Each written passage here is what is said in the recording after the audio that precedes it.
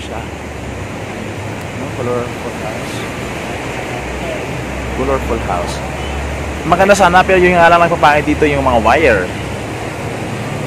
Umaalog-alog yung, yung hanging bridge ay.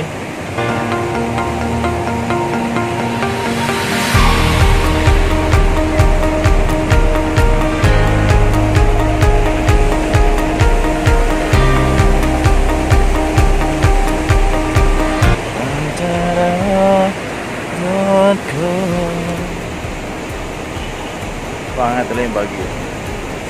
Binag patuloy binagyuhan. Sabi ko nga eh, sabi ko sa vlog ko, yung bagyo mukhang binagyuhan. Maganda ka sana. Mukhang binagyuhan tuloy.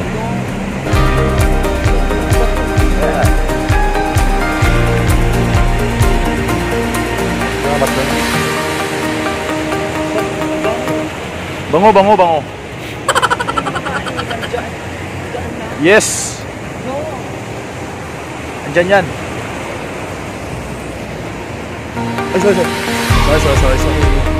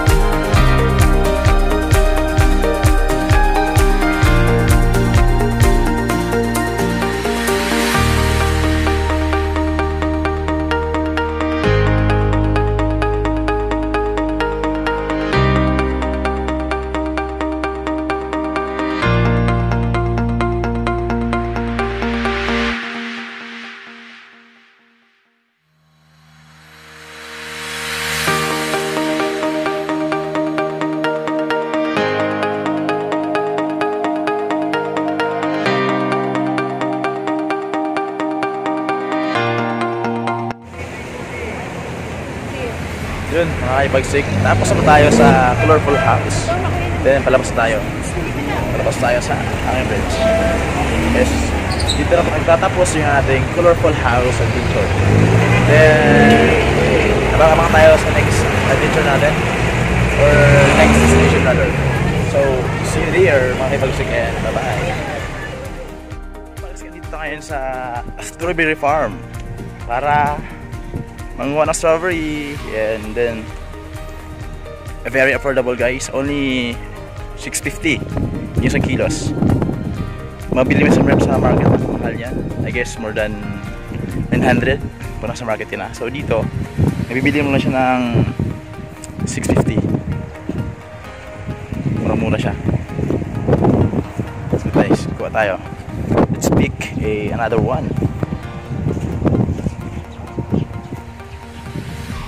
Strawberry, strawberry. Ito, sarap to. One. Uh, want to pick a strawberry? Something like this. Yes. Yeah.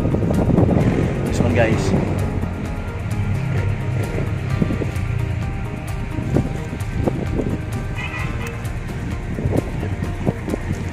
Delicious.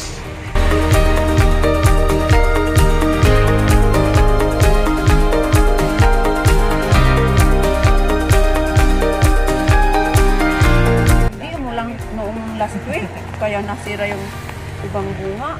Te, ano pangalan ng farm mo, te? I-promote mo dito sa vlog ko, te. Uh, Jeweler Garden. Po? Jeweler Garden. Jeweler Gardens.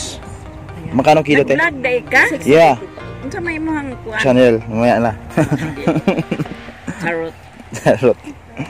Tama, imong daming ikuanan kay Ha? Mga mga Pagsamahin na lang. Kasamahin namin yan lahat. Tapos, Okay. isang bayad na lang. Kapagod na, te. Dapat tong pagkaon Kasi naiinitan na rin ako. Kuan.